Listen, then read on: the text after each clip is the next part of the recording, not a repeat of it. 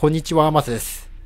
今日はクレディ・スイスの AT1 債を日本の投資家は買っていたのかについてです。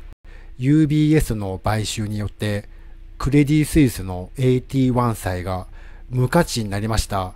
なんと2兆3000億円です。AT1 債は通常の社債より弁済順位が低いんです。ですから、リスクが高い分、利回りも高いんです。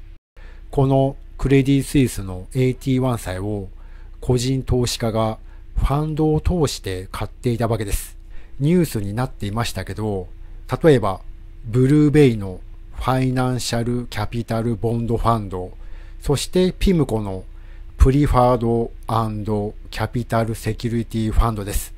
両方とも20日までの1週間に8%以上マイナスになってます。ブルーベイもピムコも資産運用会社なんですけど、ピムコはクレディ・スイスの AT1 債を全部で約8億700万ドル、だいたい1000億円持ってるんです。ですから悲惨です。日本で言うと、新興グローバルハイイールド債券ファンドそしてグローバルハイブリッド証券ファンドがクレディ・スイスの AT1 債を組み込んでました。運用額が30億円程度で、組み込み率が1%未満ですから、だいたい3000万いかないぐらいです。日本では最大でもこんな感じです。ですから、大した額ではありません。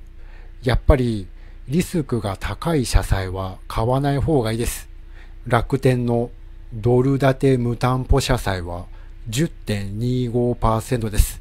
こういう社債を2つ組んでるんですけど、2つでだいたい1200億円ぐらいです。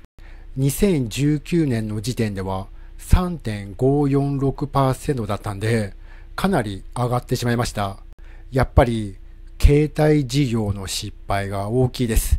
ですから10%にしないと貸してくれないってことです。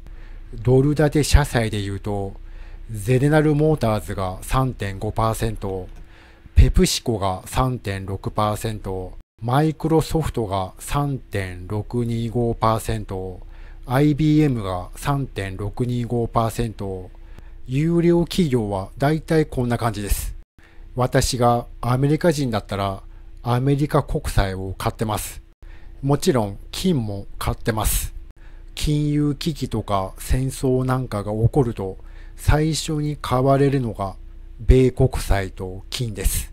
では以上です。ご視聴ありがとうございました。